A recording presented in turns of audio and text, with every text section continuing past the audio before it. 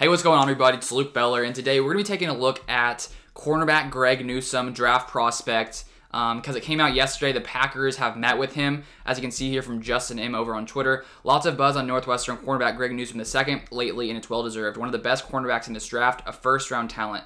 Newsome has met virtually with the following Titans, Packers, Chiefs, Jaguars, Buccaneers, Saints, and 49ers, just to name a few. But as you guys can tell, I'm doing it a little differently today, sharing my screen. So let me guys know if you enjoy this format. If you don't enjoy this format, I figured um, I was doing all this research and I, I thought I would just show you guys sort of what I'm looking at. But let me know if you guys enjoy this kind of thing or if you don't. I'd honestly be curious to hear. But if you guys are new to the channel, I put out Packers content every single day, pretty much. And if you guys would like to see that, feel free to subscribe to the channel down below. So taking a look at Greg Newsome the second.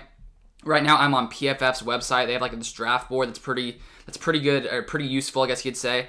And as we can see here from Greg Newsome, it was his junior season this past year. As you can see here from his PFF grade 2018, 2019, 2020, he took a huge step in the 2020 season, moving from like in the 400s when it comes to cornerbacks all the way up to 18th. So he took a massive step forward in his, I guess it was his junior season, which obviously has led him to becoming a much higher draft prospect just because of how well he played in 2020. So taking a look here, it says Newsome looked like a different player on the 387 snaps we saw from him as a junior in 2020. He only allowed 12 catches from 34 targets for 93 yards all season. So it seemed like he shut down pretty much every receiver he faced. I have some more stats here from PFF I found on Twitter. As you can see here, Greg Newsome II allowed a zero passer rating on third and fourth down last season, only cornerback in the draft to do so. So in the important plays, he seems to be able to stop, you know, the receivers he's facing up against. And then, as you can see here, lower lowest passer rating allowed this season among cornerbacks. Greg Newsome II only allowing a 31.7 passer rating. So from his junior season, it seems like he's been a you know a beast when it comes to covering players. Last stat here, Greg Newsome II when targeted 10 plus yards downfield, 15 targets, one reception allowed, zero touchdowns, one interception, 11.8 passer rating. So from all the research I've done on this guy, he seems to be a uh, very talented cornerback. PFF here has him ranked as 60th overall. I think he's like the 13th ranked um, cornerback, I'm pretty sure. And so it seems like he, from PFF's overall grade, maybe the Packers could get him round two, maybe round three. But I, as you saw, that guy Justin, he said he's a first round talent. So there could be some teams that see this guy as a potential first round talent. So we have some more uh, analysis here from PFF. So this guy's 6'1, 190 pounds. Um, so as comparison to like Jaire Alexander, Jaire Alexander is like 5'10. Kevin King is like 6'3. So sort of in between those two guys. And it sort of makes sense that Packers have been, you know, taking a look at cornerbacks just because, as we saw, Kevin King didn't have a great season in 2020. And as I've said, I think the Packers need to come in and draft a cornerback in the first few rounds. Maybe the first round, maybe the second round. This guy could potentially be available, you know, in that second round area. As you can see here, um, they say analysis third round. While he played in a zone heavy scheme, and Newsome has a scheme versatile skill set at the next level.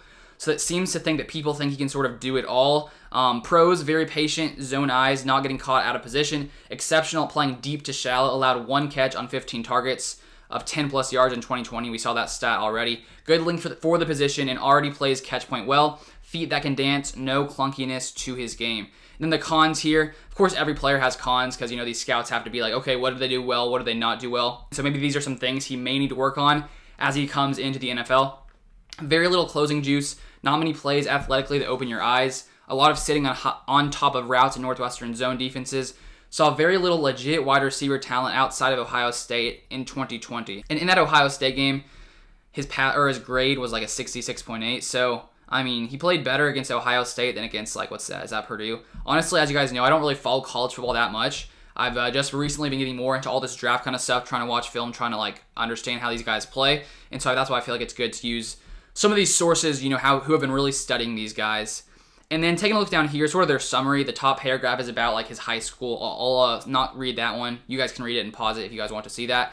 But it says down here, it may have been only six games and 387 snaps, but Newsome's 2020 season vaulted him up the PFF draft board.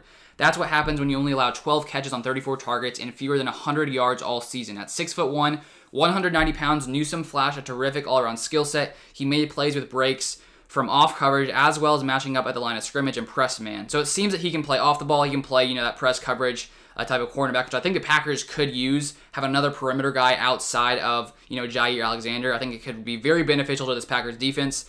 Then it finishes off. We just wish we could have seen more snaps from him.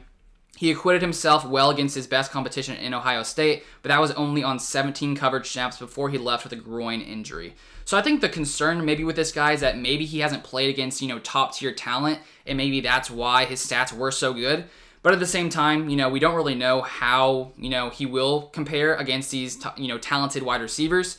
But um, all that I'm reading from this guy seems to be lots of positive stuff. It seems that he would be a good fit on this Packers team. Um, the Packers have already re- met with also, what's his name? Asante Samuel Jr. I uh, put a video out on that guy. I'll link it down below if you guys have yet to see that one. Um, Asante Samuel Jr. seems to be uh, more talented. At least PFF has him ranked higher. I think lots of other people have him ranked higher. And lots of Packers fans in my comments seem to want Asante Samuel Jr. Um, so I feel like the Packers will take a cornerback in the first few rounds. Maybe they won't, but from what we've seen from the Packers in 2020 and the fact that they've been interviewing cornerbacks, you would sort of assume they come in and draft a cornerback. The question is, you know, which round will it happen?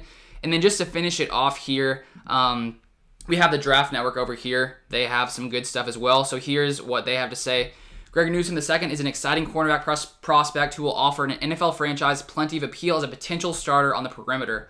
So outside Jaire Alexander on the other side, Newsome II has showcased strong ball skills and length to pair with high end levels of flexibility and functional athleticism. That's a blend that is going to get Newsome II drafted sooner rather than later. This young cornerback prospect did miss a Golden Showcase opportunity against Ohio State in the 2020 Big Ten Championship game to put an exclamation point on his resume, but nevertheless, this is a prospect who saved his best football for last. Newsome II is instinctual and offers suddenness in split decisions and coverage, frequently driving to the target and attacking the football in the air. He brings the right kind of attitude to perimeter play, both in collision routes and in run support and tackling at the line of scrimmage but his aggressive angles will need a little work to ensure he secured tackles at the catch point before attempting to attack the football and undercut throws.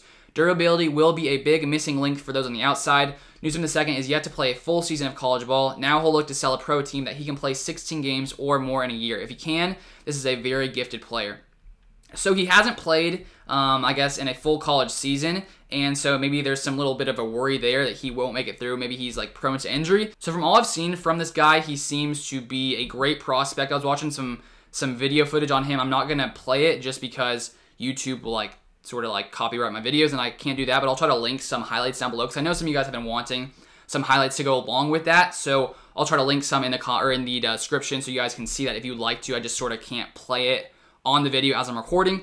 But that's pretty much all I have on Greg Newsome. Let me know your guys' thoughts on this guy if you guys like him, and if you guys enjoyed this kind of sharing my screen format, at least for some of these kinds of videos where it's more like looking at, you know, sort of their prospects and sort of what people rank and sort of grade them as. I'll probably do a mix of maybe these if you guys enjoy them, and I'll, you know, do my sort of normal normal type of videos as well. But if you guys enjoyed today's video, make sure you guys drop a like on the video down below and make sure you subscribe if you yet to subscribe so you don't miss, you know, future Packers content, draft breakdowns, all that stuff. I'll be putting all that kind of stuff out onto a channel, uh, as most of you guys who've been following along know. So thank you guys so much for watching as always, and I'll see you guys on the next one.